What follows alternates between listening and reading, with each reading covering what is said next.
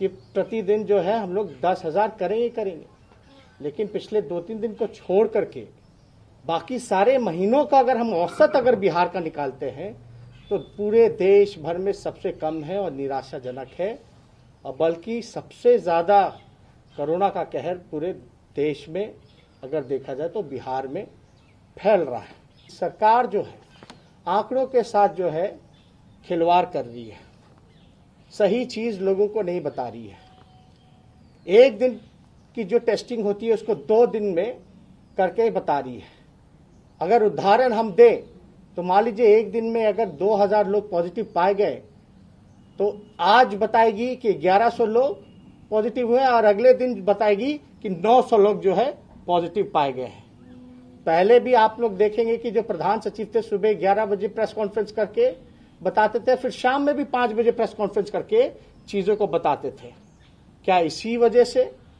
पारदर्शिता उन्होंने रखी। क्या इस वजह से उनका तबादला किया गया? हम नीतीश कुमार जी से पूछना चाहते हैं।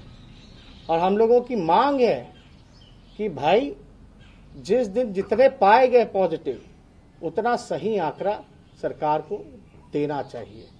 ना कि एक दिन का, दो दिन में विस्तारित रूप से करके जो है, वो बता रही है, वो नहीं बताना चाहिए। और आप सब लोगों को पता है कि यहाँ नीतीश कुमार जी के काम को लेकर के हर लोगों में निराशा है और सब लोग जो है नीतीश कुमार जी के विफलता को देखते हुए जो सेंट्रल जो है, केंद्र सरकार जो है, वो एक कमिटी भेज रही है आज।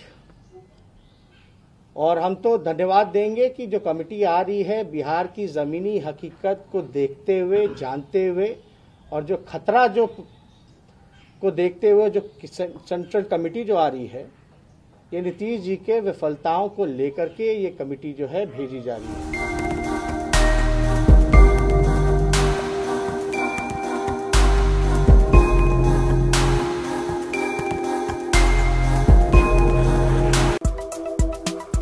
Is running against time to develop the COVID 19 vaccine. Major global pharmaceutical giants are engaged in the campaign with feverish pace. One of the major pharmaceutical powerhouses in the world, India, is also actively engaged in developing the vaccine.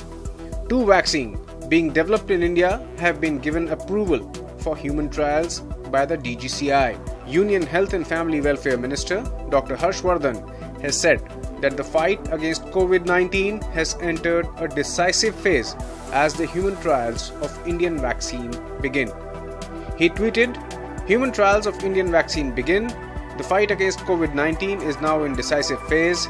Efforts to develop a corona vaccine for the past many months start giving positive signs. We will soon win the war against this pandemic. Dr. Harshvardhan further shared that the initial trials on humans did not have any side effects. The trial will be in two phases and is being done at 14 research institutes. The emphasis remains on safety and screening. The ICMR scientists are keeping a constant vigil on the developments. DGCI has permitted two vaccines to go in for the first and second phase of human clinical trials. One vaccine is developed by the Bharat Biotech International Limited in collaboration with the Indian Council of Medical Research. The other vaccine is being developed by Zydus Cadila Healthcare Limited. The two Indian vaccine candidates have undergone successful toxicity studies in rats, mice, and rabbits. This data was submitted to the DGCI, following which both got clearance to start an early phase human trial. Human clinical trials for Covaxin have been initiated across the country in 375 volunteers, including three at Rohtak's Postgraduate Institute of Medical Sciences. The three persons have shown no adverse side effect.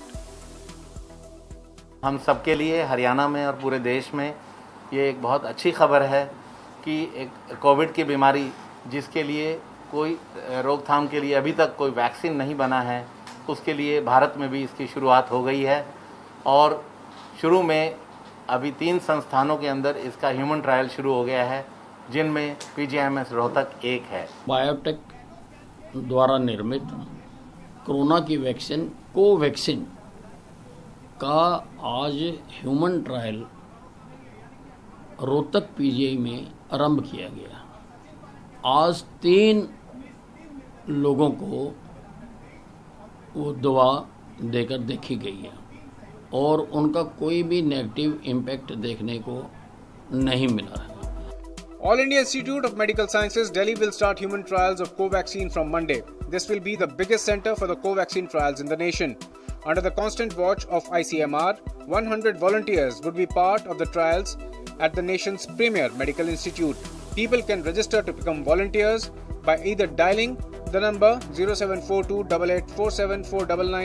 or dropping an SMS at the same number. They can also email at ctaims.covid19 at gmail.com. Nearly two dozen possible COVID 19 vaccines are in various stages of testing around the globe. Candidates from US, China, and Britain's Oxford University are also entering the final testing stages. Indian born UK citizen Deepak Paliwal became a household name in India and the UK after he volunteered for the human trials of the Oxford vaccine. Around the world, governments are investing in stockpiles of hundreds of millions of doses of